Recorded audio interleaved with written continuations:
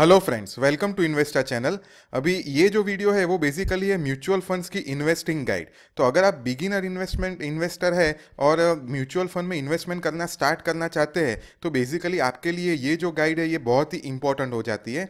ये जो पूरा जो है, मेरा वीडियो का कंपाइलेशन मैं यहाँ पे दे रहा हूँ, पूरा organise step by step course है ये म्यूचुअल फंड में इन्वेस्टमेंट करने का. तो ये जो प्ले लिस्ट है, ये जो यूआरएल ये मैं नीचे बिलो डिस्क्रिप्शन में आपको दे रहा हूँ. तो ये जो यूआरएल है, आप बेसिकली जाके सेव कर लीजिए क्योंकि ये जो यूआरएल है वो पब्लिकली अवेलेबल मैंने नहीं किया है अभी तक। अभी कैसा है कि इसमें आपको बेसिकली फ़र्स्ट स्टेप से स्टार्ट करना है तो ये जो मेरा फ़र्स्ट वीडियो है आ, वो है mutual fund investing guide for Indian investor तो ये जो वीडियो है, उसके अंदर मैंने डिटेल में स्टेप बाय स्टेप आपको दिखाया गया है। दिखाया है कि कैसे आपको म्यूचुअल फंड से इन्वेस्टमेंट करना स्टार्ट कर सकते हैं। अगर आपने पहले कभी भी किसी भी टाइप का म्यूचुअल फंड कि मैं इन्वेस्टमेंट नहीं किया है तो भी बेसिकली आप ये गाइड को फॉलो करके स्टार्ट कर सकते हैं। उसके बाद जो नेक्स्ट वीडियो आता है, वो है how to choose best mutual funds in India.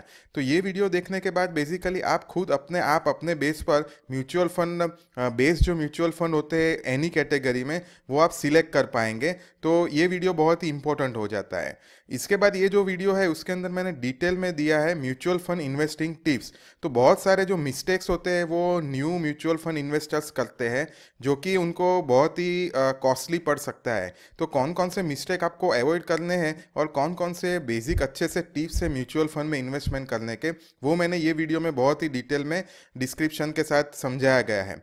उसके बाद एक्चुअली हर एक प्रकार के जो म्यूचुअल फंड है, उनका टैक्स ट्रीटमेंट होता है, वो अलग होता है। जैसे कि equity fund debt fund gold fund तो सब प्रकार के म्यूचुअल फंड का जो टैक्सेशन होता है, वो मैंने ये वीडियो में उसके बाद डिस्कशन किया है।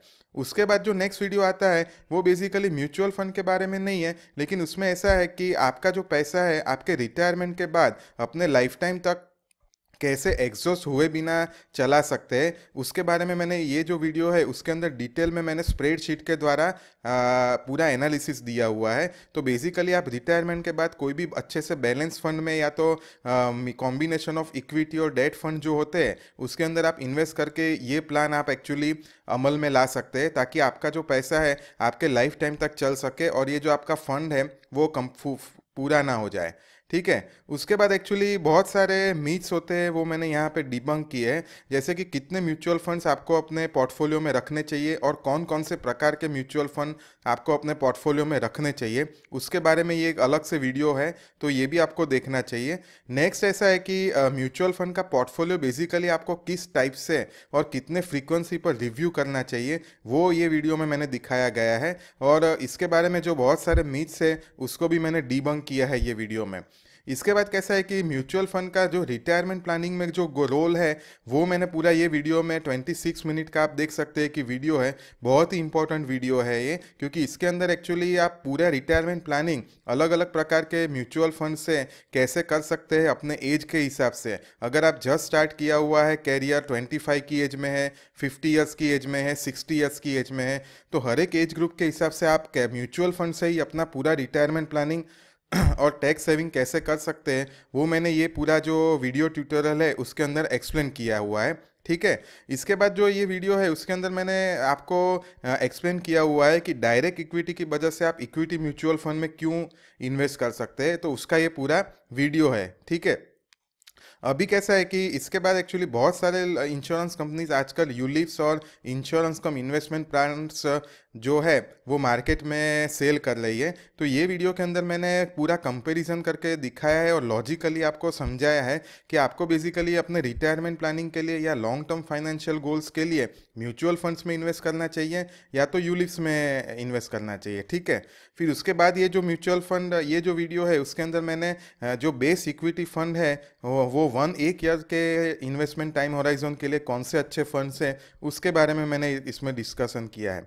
फिर कैसा है कि टैक्स सेविंग पर्पस के लिए पीपीएफ है, वो इंडिया का बहुत ही पुराना स्कीम है टैक्स सेविंग के लिए, सेक्शन एटी सी के तहत। तो ये वीडियो के अंदर मैंने ई e मतलब कि टैक्स सेविंग म्यूचुअल फंड्स और पीपीएफ ये दोनों का कंपेरिजन किया है। तो इसके बाद आपको एक्चुअली पता चल जाएगा कि आपको बेसिकली पीपीएफ में इन्वेस्ट करना चाहिए, या तो ई e में अपने टैक्स सेविंग पर्पस के लिए इन्वेस्ट करना चाहिए। उसके बाद जो ये चार जो है, वो बेसिकली किस टाइप के म्यूचुअल फंड में आपको इन्वेस्ट करना चाहिए कि नहीं करना चाहिए, वो उसके बारे में मैंने दिखाया है। जैसे कि NFO index funds sectoral funds या तो गोल्ड म्यूचुअल फंड्स, या तो इंटरनेशनल फंड। तो ये सब जो वेराइटीज़ के म्यूचुअल फंड है, उसके अंदर आपको इन्वेस्ट करना चाहिए या नहीं करना चाहिए, उसके बारे में मैंने डिटेल में पूरा डिस्कशन किया हुआ है। उसके बाद कैसा है कि जो बेस इंटरनेशनल म्यूचुअल फंड्स आज के डेट में कौन से हैं और किस प्रकार के जो इंटरनेशनल या तो ग्लोबल फंड है आपको अवॉइड करने चाहिए, उसके बारे में मैंने इन्फॉर्मेशन दिया हुआ है, ठीक है? उसके बाद मैंने यहाँ पे पराग परिक इक्विटी फंड और मोतीलाल ओसवाल, नेस्डेक हंड्रेड ई ये दो इंटरनेशनल फंड माने जाते हैं। सम तो उसका भी मैंने इसके अंदर डिटेल में डिस्कशन किया हुआ है। उसके बाद जो नेक्स्ट वीडियो आता है, उसमें, उसके अंदर बैंक फिक्स डिपॉजिट या तो डेट म्यूचुअल फंड ये दोनों में से आपको बेसिकली क्यों, क्या सिलेक्ट करना चाहिए और क्यों सिलेक्ट करना चाहिए और दोनों का टैक्स ट्रीटमेंट क्यों डिफरेंस है और उससे आपका इफ़ेक्टिव रेट ऑफ़ रिटर्न में क्या फ़र्क आता है उसके बारे में डिटेल मैंने दी हुई है, ठीक है? और ये जो है, ये बेसिकली एसआईपी स्टडी में उसको बोलता हूँ कि बहुत सारे इन्वेस्टर्स एक्चुअली पूछते हैं कि अगर पाँच साल, दस साल, पंद्रह साल एसआईपी करते हैं या तो 25 साल एसआईपी करते हैं तो बेसिकली पैसा लूज़ करने के चांसेस कितना है? तो इसके अंदर एक्चुअली मैंने है ना म्यूचुअल फंड्स के हिस्टोरिक परफॉर्मेंस दिए हुए हैं। मतलब 1992 में गवर्नमेंट ऑफ़ इंडिया ने म्यूचुअल फंड में प्राइवेट कंपनी को आने की छूट दी थी।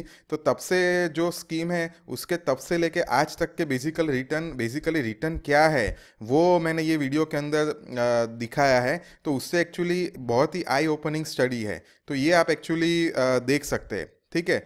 उसके बाद कैसा है कि does N A V matter तो ये जो थोड़े बहुत मीट्स है, उसको मैंने डीबंक किया है कि म्यूचुअल फंड का एनएवी के ऊपर आपको जाना चाहिए कि नहीं? या तो फिर म्यूचुअल फंड का साइज़ मैटर करता है कि नहीं? या तो अगर म्यूचुअल फंड का जो साइज़ है, वो वो क्राइटेरिया में कब आता है तो उसके बारे में ये वीडियो के अंदर डिस्कशन किया गया है। उसके बाद फंड ऑफ़ फंड के बारे में और उसके टैक्स ट्रीटमेंट के बारे में दिखाया गया है।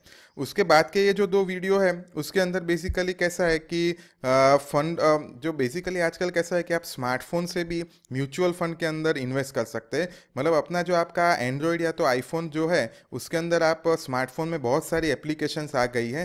तो उसके थ्रू ही आप डायरेक्टली अपने बैंक अकाउंट से डायरेक्टली म्यूचुअल फंड में एसआईपी स्टार्ट कर सकते हैं या तो कोई भी म्यूचुअल फंड के अंदर लमसम अमाउंट इन्वेस्ट कर सकते हैं।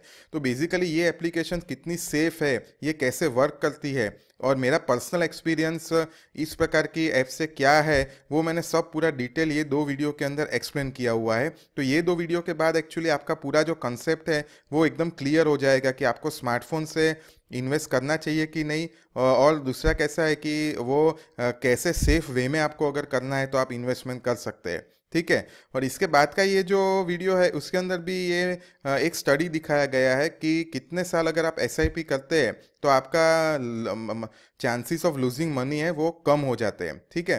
तो ये जो पूरा है लिस्ट ये बेसिकली है, इसका ये लिंक जो ये यहाँ पे दिया हुआ है, मैं नीचे बिलो डिस्क्रिप्शन में दे रहा हूँ तो बेसिकली ये लिंक भी आप सेव कर देना ना भूलें, और दूसरा कैसा है कि ये जो लिस्ट है, मैं रेगुलरली अपडेट करता रहता हूँ तो उससे क्या होता है कि आपको बेसिकली कैसा है कि ये जो अब मोस्ट रिसेंट और अप टू डेट डेटा मिल सकता है तो ये डायनेमिक लिस्ट है तो ये बदलता रह सकता है, अगर मैं कोई नया वीडियो बनाता हूँ जैसे कि अभी मैं वर्क कर रहा हूँ जो यहाँ पे सेकंड नंबर पर आ जाएगा कि बेस म्यूचुअल फंड्स ऑफ़ 2019 तो अगर आप ये 2019 के अलावा सपोज़ अगर आप फ्यूचर में ये वीडियो देख रहे हैं तो आप ये समझ लीजिए कि ये जो पूरा लिस्ट है, मैं रेगुलर बेस पर ये पूरा जो म्यूचुअल फंड इन्वेस्टमेंट का गाइड है, ये जो पूरा वीडियो लाइब्रेरी ये मैं अपडेट करता रहता हूँ। तो बेसिकली आपको क्या करना है कि ये इसी स्टेप्स में स्टार्ट करना है स्टेप बाय स्टेप तो आप ये सेव कर लीजिए और अगर आपको कोई कॉमेंट्स या सजेशन है तो नीचे कॉमेंट सेक्शन में दे सकते हैं। प्लस आप मुझे मेरा पर्सनल ईमेल एड्रेस मैं यहाँ पे दे रहा हूँ, उसके ऊपर भी बेसिकली आप मुझे कांटेक्ट कर सकते हैं, ठीक है? Thank you